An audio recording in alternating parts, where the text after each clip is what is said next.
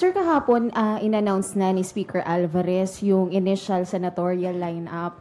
Kasama na nga po si Congressman Nograles, sila Attorney Tolen, ah, sila Sir Tolentino, and kasama po si PCOO Yusek Moca Uson. Marami hong nag-react. Nakausap niyo ho ba si Speaker Alvarez patungkol dito? Let the people decide. Uh, it's, it's, it's, in, it's not a one-man story or critic. Let the people decide. Kung ginusto nila yan, then that's it. It will be honored by all, including the military and the police. Pag yan ang pinili ng Pilipino, you might, you might not like her. Uh, her ways might not suit your values.